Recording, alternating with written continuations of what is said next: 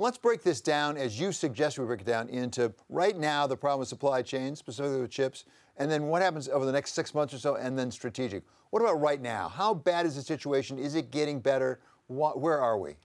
Yeah, David, thank you. Again, thank you for having me as always. As far as right now, I think you had a great quote in our lead-in, which was from uh, the Fed President Neel Kashkari, which is about Malaysia and how things are improving, at least in automotive chips. And things are improving, but it takes time to work through the, the supply and demand balance uh, that'll occur. But things are getting better. They're loosening up. Once we solve the chip problem, there'll be other problems called packaging, but that's more of a, in the IT segment versus the consumer segment, like automotive or appliances. But things are improving. But we have a, we have a ways to go, and, the, and companies need to do things differently as we as we got to the future. What can companies do to try to ameliorate the problem, if not fix it entirely, over say the next six months? I think the thing that they I think they are doing, quite honestly, and they've started to do. and I think you've seen this in some of their products. They're they're working on design and supply. You have to do both. By that I mean you have to reduce the demand to get in balance with the supply that is available. On the design side, you'll see them using fewer chips or maybe consolidating functions within a chip or a board, as it's called, so that you can use fewer chips to, to get the same functionality in the product.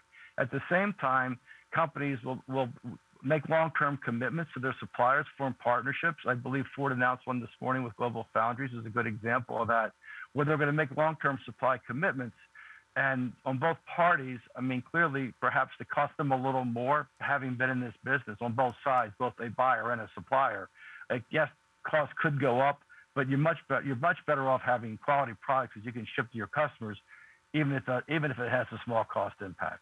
So, Sam, on the redesign point, I think I mentioned to you actually, I went and looked at a Ford Maverick, this new small pickup, and they went out of their way to say, you know what, we made the screen smaller. It's now a key ignition. Remember, we used to have those instead of push button? Yes. Specifically to reduce the semiconductor needs for the vehicle. How fast can a manufacturer really retool? Well, it depends. If it's a software change, they can do it. I mean, pretty, pretty quickly, immediately, like next year's models, for example. You know, right? If it's a hardware change where it requires bending metal, you know, for example, then it, yeah, it's a little more complicated because you, now you're doing it through manufacturing line. But quite honestly, the changes that they've made, like screen, you buy a smaller screen size and you use a key versus a push button, that's that's mostly software. So, Sam, you also mentioned strategic relationships such as Ford and Global Foundries that's been announced now. Uh, give us a sense of the spectrum from let's do it in house, because there's some, talk, some talk we'll design the chips inside, inside our own company, even if you're an automotive company, to have yes. a strategic relationship to actually just be a customer. How do you decide among those alternatives if you uh, need the chips? I, I tell you, the way I always think about it, I'd start with your product differentiation. You know, how do you make yourself competitive versus your competitors, their offerings, and and then therefore capital allocation, i.e., in a fab itself. So I'll start with the fab itself. These, even a small fab today is three to four billion dollars.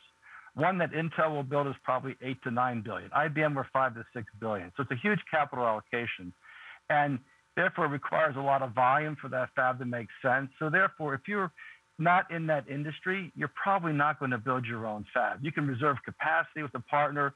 You can you know pay for that amount allocation of their manufacturing capacity is the term. But I, I would not recommend they go out and build their own fabs. It's really, really technical. They're talking about uh, five nanometer. It's basically it's like three atoms on a circuit and things like that. It's extremely hard to do. Now on the other side, where you can get great differentiations around design and a lot can be done on design, and you have to work with your partner because that becomes part of the uh, the uh, the data that they load into the chip. You know, the, the the algorithms for the how the chip works. But nonetheless, as you partner with your uh, your whomever your foundry is, whether it's Global Foundries or Intel or uh, Samsung, I mean, there's multiple TSMC, etc. Uh, my point being is you can get terrific differ- differentiation through design. If you look at AMD and their stock, uh, you know, they've moved more to a design shop than a fab, and you can see their stock is up tremendously because their success there. Uh, Sam, we've been talking about what, the now, here and now, and then the near future. What about the longer future? What are the strategic solution here? And if I can, you'll tell me if this makes sense. Can we divide it into what's good for business and the economy, and then turn to national security? Because I think they may be somewhat different considerations. Yes, yes, they are, but they do converge. But that's that's an excellent observation on your part, Dave, because they eventually do converge. I mean, if you think about it today, which we're seeing for the first time that data and semiconductors are the lifeblood of the economy and also important to national security, but they are the lifeblood of the economy. It's like the oil of the 21st century, uh, of the past, but now applied to the 21st century. So having said all that, you know, we need to have strategic relationships to, I would say, secure that capacity that, that protects the U.S. economy.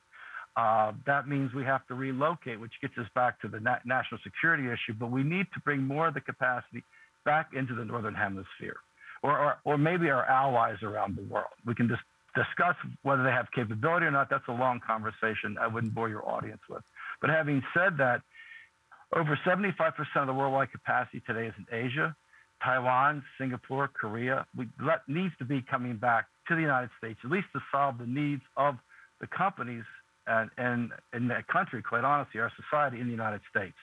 The reason why I say it converges is because that movement back to the United States, that's why you hear about in this, the, the bill that was the Schumer bill that's now being worked through the House and the Senate, the $52 billion, requires government involvement because it's a significant investment to bring those fabs back into the United States. Uh, it's both the fab itself and, and the future R&D. So that's where it all connects because it's those facilities that are going to be both doing commercial work as well as work for, I'll call the, the protection of our company, national, a country rather, national security. Sam, I believe that bill is called the U.S. Innovation and Competition Act. Originally, a version of it was called the CHIPS Act. It's a little bit mired right now. Passed through the Senate, the House is having troubles with it. But the $52 billion you referred to, is that enough to make a material difference? I've heard some of the chip producers say we can't do it without it. Is it enough to get us to where we need to go? I think it's enough to do production. Now, there's a whole other element of this thing called re- research and design or research and development, right? That's in the back, Build Back Better bill, which they're talking about 190 billion, if I'm not mistaken. I'm not sure if that's a good number or a bad number, but they need to do probably twice as much of production in research and design because the point is that the way these chips are used in the future, it's very, very advanced research. You have to have the money to fund it. You need the academic relationships with the appropriate universities to help you work on these kinds of solutions.